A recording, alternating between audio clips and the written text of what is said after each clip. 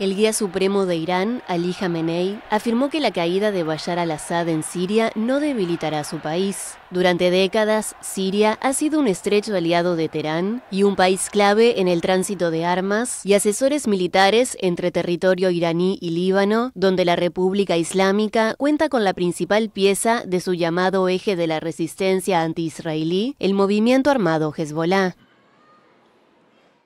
Algunos ignorantes del significado de la resistencia creen que cuando ésta se debilita, la República Islámica de Irán también se debilita. Sin embargo, yo afirmo que por la voluntad y el poder de Dios, Irán es fuerte y poderoso y será todavía más poderoso.